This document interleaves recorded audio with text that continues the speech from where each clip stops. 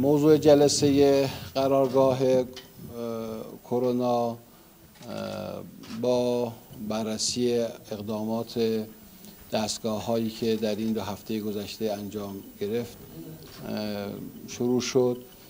خب ما با توجه به حجم سفرهای فراوان نزدیک رشد 53 درصدی در سفرها و کاهش 23 درصدی در تلفات یک اتفاق خیلی خوبی بود. در کنار این خب یک بسیج عمومی کرده بودن راجع به اینکه سعی کنن شیوه نام های ضد کرونا به خوبی رعایت بشه. خب البته درصدهایی که گزارش شد راجع به رعایت اونها متفاوت بود. در بعضی جا رعایت ها خوب بود در بعضی جای مقداری مشکلات داشتیم در رعایت شیوه نامه ها ولی در مجموع وضعیت خوبی رو دوستان گزارش می‌دادن. در گزارش مربوط به عزیزانمون در وزارت بهداشت هم همچنان سیر نزولی بیماری رو گزارش کردند. در مجموع اون هایی که از اصنافی که مورد تذکر قرار گرفته بودند یا رانندگانی که مورد تذکر قرار گرفته بودند یا جریمه هایی که به خاطر عدم رعایت اتفاق افتاده بود گزارشی رو بخش های مختلف دادن. علایه حالا آنچه که الان مهم هست اینه که یک ما همچنان نباید بیماری رو عادی, عادی انگاری کنیم. سفرها تمام شد اما این بیماری همچنان هست. و لذا بایستی اون رو جدی همچنان فرض کنیم. کار بسیار ارزشمندی که وزارت, وزارت آموزش پرورش و وزارت علوم انجام دادن در بازگشایی مدارس و دانشگاه ها با رایت شیوه نامه همچنان باید با قدرت ادامه پیدا کنه. رایت شیوه نامه ها مورد تاکید هست. زدن ماسک و تهویه هوا همچنان مورد تاکید هست که انشاءالله در فضاهای آموزشی تعقیب بشه و دنبال بشه. به خصوص که الان ما لازم تهویه مشکل هم نداریم می‌تونیم با باز کردن پنجره راحت تهویه رو انجام بدیم. در فصل زمستان ما این مشکل رو داشتیم. در کنار موضوعات دیگری مورد ارزیابی قرار گرفت بحث سویه های جدید کرونا که در بعضی از کشورهای اروپایی هست به ویژه در انگلستان و چهار پنج کشور دیگه اروپایی هست. البته ما به این نتیجه نرسیدیم که لازم الان ممنوعیتی است برای تردد از اون کشورها درست کنیم. ولی در حال این حساسیت هست چون به ویژه در انگلستان رشد زیادی پیدا کرده. بعضی از این سویه ها این باید حساسیت رو بیشتر داشته باشیم به ویژه در مرزها و در فرودگاه های بین المللی به ویژه در رابطه با این موضوع مورد بحث بود. به اضافه اینکه کارهای دیگری که در رابطه با بیماریابی باید انشالله انجام بدیم که اینو قرار شد عزیزان ما در وزارت بهداشت بررسی انجام بدن اگر لازم هست نسبت به بیماریابی وسیعتری اقدام بکنیم در این شرایط اون هم طراحی کنند و انجام بدن. مرزهای زمینی با استفاده از مرزهای زمینی یه بحث است و استفاده از یعنی موضوع لغو ویزا یه موضوع دیگر است.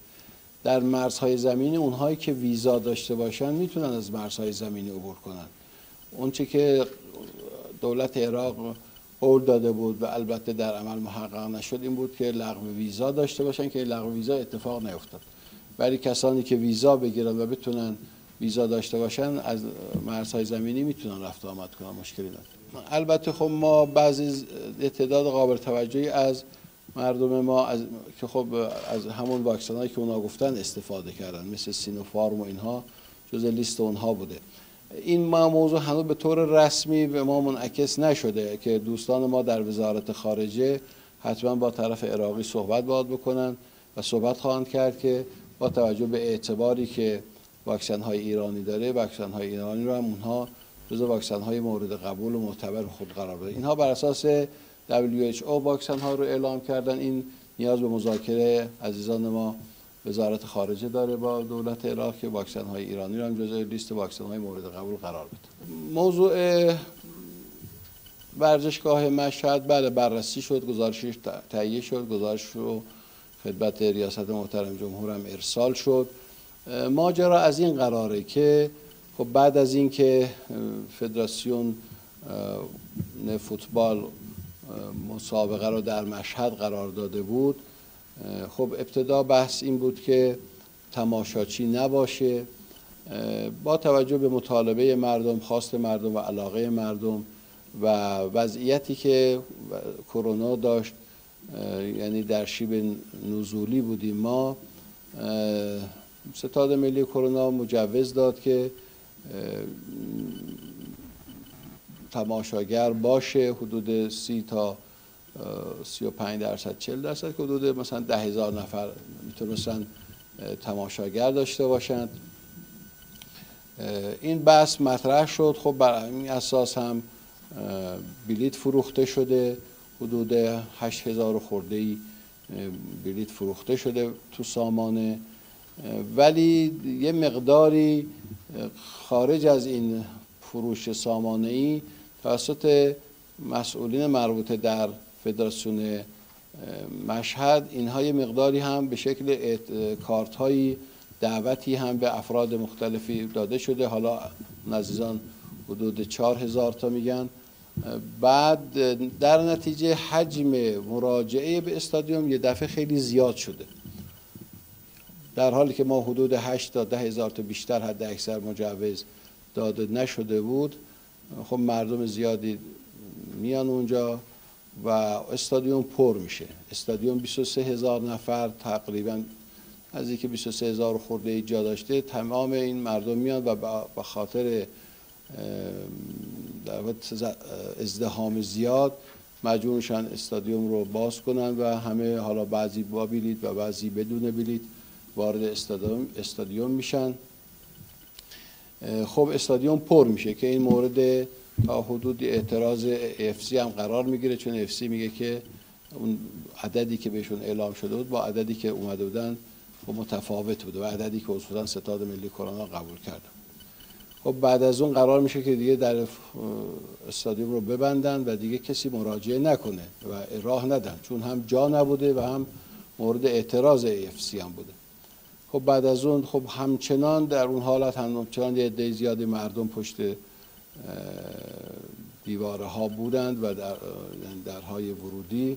و خب بعضی هم تلاش می‌کنن از طریق دیوار بیان بالا و وارد استادیوم بشن که خب به دلیل احساس خطری که میشه و اینکه اونجا اگر دیواری میشکست یا در شکسته می‌شد و میومدن و حجم جمعیت فراوان ممکن بود برای همون هم که نشستن ایجاد مشکل بکنه.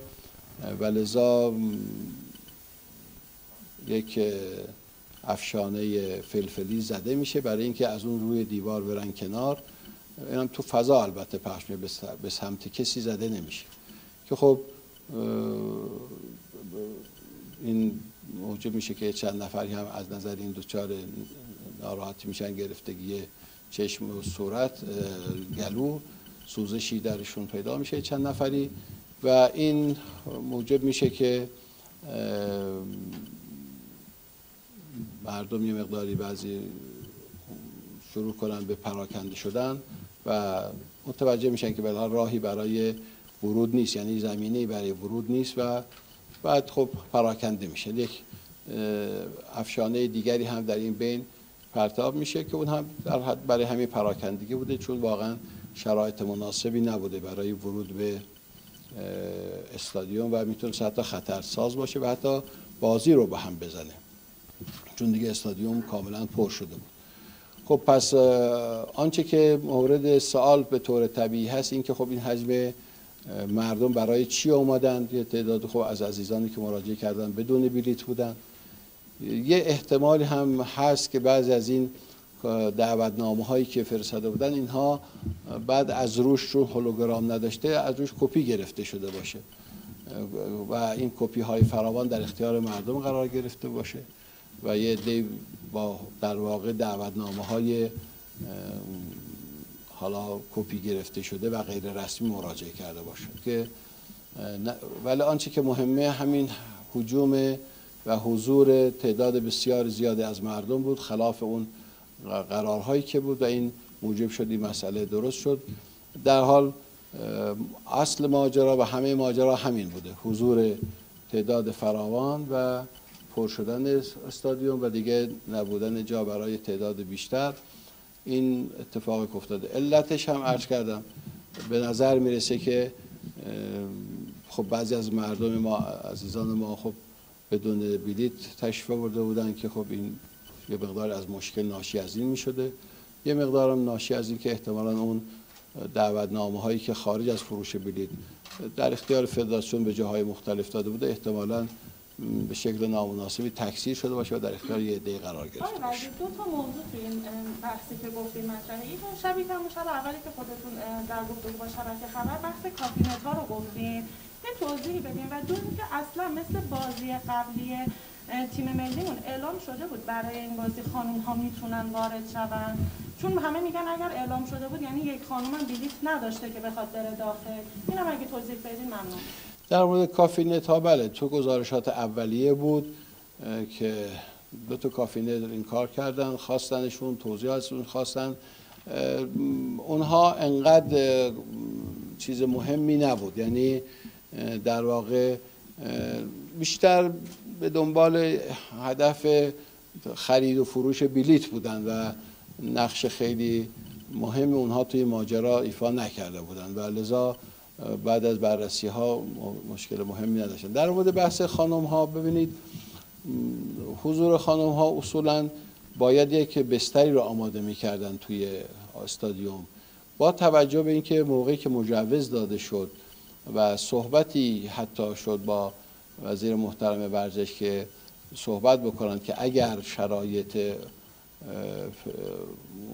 مشکل نداره فدراسیون مسابقه رو در تهران برگزار کنن.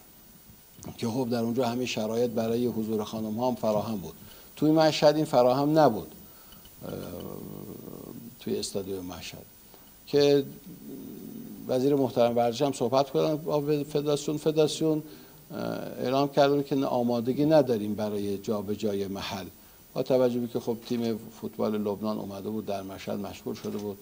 محل ها اعلام شده بود به فیسی سی و لذا شرایط برای انتقال بازی از مشهد به تهران نیست. شرایط هم در مشهد برای پذیرش بانوان اونجور که باید فراهمی بود فراهم نبود. و لذا قرار بر این شد که مسابقات اگر بناس در مشهد با این وضعیت اجرا بشه خب آقایون. باشن تا شرایط انشاءالله در یه موقعیت مناسبی فراهم بشه.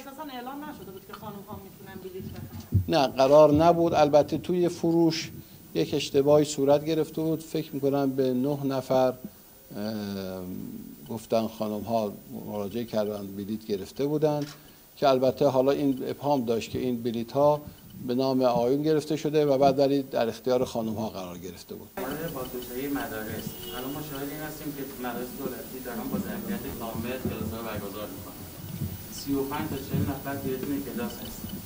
فاصله گذاری اجتماعی رعایت نمیشه. طبیعتا 5 ساعت ماسک هم نمیشه صورت باشه نگرانی ایجاد نمی‌کنه این قضیه. ببینید همه اینها بحث شده با وزارت بهداشت. عزیزان کاملا درگیر ماجرا بودن و نظرات اونها کاملا اخذ شده. ببینید ماسک حتما استفاده میشه.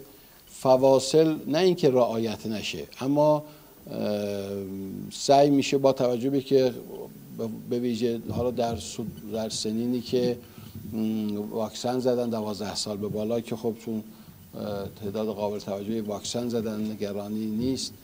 در زیر دوازده سال هم حالا از بین پنج سال تا دوازده سال که به شکل داوطلبانه گفتن می‌تونن واکسن بزنن. ببینید ماسک رعایت میشه تهویه باید حتما رعایت بشه. فواصل اجتماعی هم در حدی که الان در مثلا یک کلاس سی نفره می‌تونن اعمال بکنن هر مقداری رو که باید تلاش کنن به بهترین نحوی اعمال کنن. بله. صندلی اینا دیگه مربوط. این مربوط به مدیریت هر مدرسه ای میشه دیگه. ما دیگه وارد این جزئیات نمیشیم. فرض بر این است که دوستان حد اکثر فاصله ممکن رو اعمال می‌کنن. اه، البته قبلا یک حد فاصله اعلام کرده بودند در یک شیوه نامه ای که اون مثلا در هر چهار متر مربع یه نفر می‌تونست بشینه. خب این دیگه به اون شدت احتیاج نیست. چون اون موقع مال موقعی بود که این واکسن ها زده نشده بود و این اتفاقات نیفتاده بود. ولی که تل مقدور فواصل رو سعی باید بکنن رعایت کنن. مشکل ما بررسی کردیم مشکل عمده از این حیث نیست. یعنی کلاس هایی که خیلی تعداد کمیشون می‌گفت گزارش می‌شد که کلاس های بالای سی نفر باشن. به تعداد محدودی هستن. اونا دیگه در واقع ممکنه خودشون تدبیر بکنن کلاس رو در یه جای بزرگتری اجرا کنن. حتی اعلام شد که اگر لازم بود می‌تونن کمک کنن. بعضی کلاس ها رو اگر خواستن در محیط های بزرگتری از سایر حتی دستگاه ها می‌تونن در اختیار بگیرن و برگزار کنن. ولی در حال اصل بر اینه که انشاءالله برگزار بشه. خیلی ممنون از همه عزیزان. متشکرم.